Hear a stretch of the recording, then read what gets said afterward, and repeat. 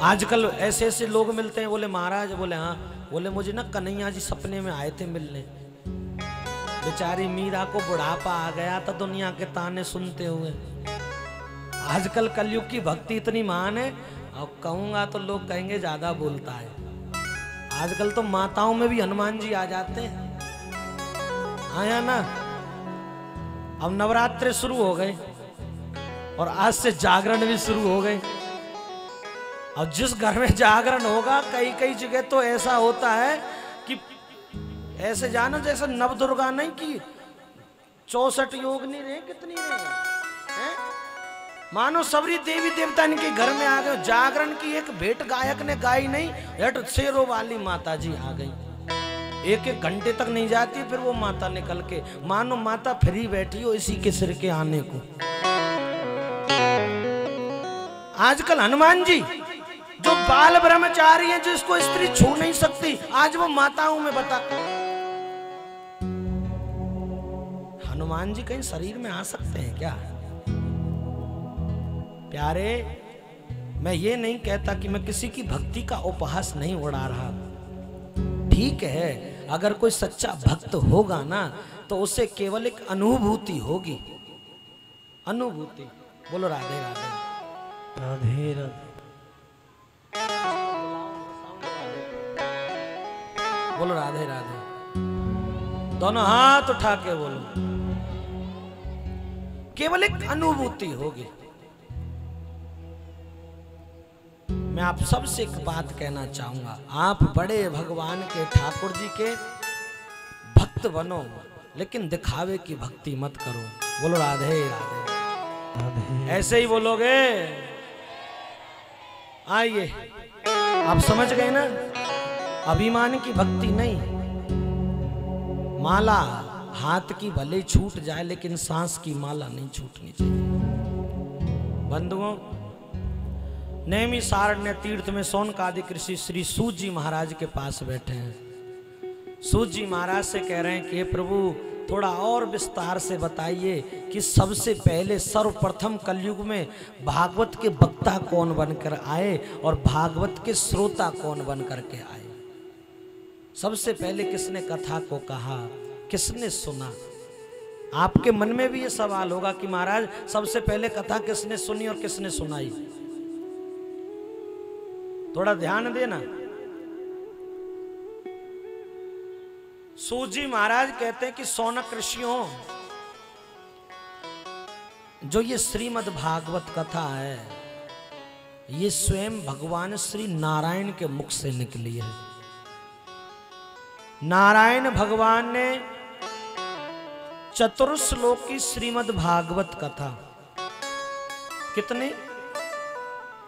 चतुर्श्लोकी यानी कि चार श्लोकों की श्रीमद् भागवत कथा नारायण भगवान ने ब्रह्मा जी को बताई और ब्रह्मा जी ने बताई नारद जी को। भागवत भगवान के मुख से निकली है और गंगा भगवान के चरणों से निकली है। और दोनों का काम क्या है? बताइए। पापियों को पाप से तारना। इस कली काल में अगर पापी को कोई तारे तो एक भागवत और एक गंगा। बोलो राधे राधे। राधे राधे। गंगा भगवान के चरणों से निकली है भागवत भगवान के मुख से निकली है। भागवत भगवान के मुख से निकली है। ब्रह्मा जी ने वो भागवत नारद जी को बताई और नारद जी ने उस भागवत को, उस चतुर्श्लोकी भागवत को हमारे ठाकुर जी ने ब्रह्मा को बताया, ब्रह्मा ने बताया नारद जी को। और नारद जी ने उस श्रीमद् भागवत कथा को जाकर के बताया है, वेद व्यास जी महाराज को। किसको बताया? वेद व्यास जी महाराज को, जो वेदों के रचयिता हैं। व्यास जी महाराज को बताया है जाकर। कथा प्रसंग में वर्णन आता है। सौनक ऋषि पूछते हैं कि प्रभु थोड़ा विस्तार से बताइए कि ये भागवत धरती पर आई कहाँ से? इतना तो हमने आपने बता दिया कि नारायण ने ब्रह्मा को बताई, ब्रह्मा ने नारद जी को बताई, नारद जी ने बता दी किसको? व्यास जी को। और व्यास जी ने इन चार श्लोकों के कितने श्लोक बनाए? अठारह हज़ार। कितने? चार श्लोकों के कितने? अठारह हज़ार। और एक बात और आप थोड़ा ध्यान देना। इस भागवत को व्यास जी के, कहा जाता है कि व्यास जी ने लिखा। उन्होंने चार श्लोकों के अठारह हज़ार श्लोक बनाए हैं, लेकिन इसकी लेखनी जानते कि उन्होंने की है। गौरी नंदन गणेश जी महाराज ने। क्योंकि कलयुग प्रारंभ हो रहा है इतना वक्त इतना समय व्यास जी पर नहीं है कि वो अठारह पुराणों को लिख सकें वो भागवत के अठारह हज़ार श्लोकों एक साथ लिख सकें। इसलिए उन्होंने गौरी गन, नंदन गणेश जी महाराज का आह्वान किया उनको बुलाया है और उनको बुला करके उनको बुलाया है और उनको बुला करके भागवत की लेखनी को लिखवाया है प्यारे।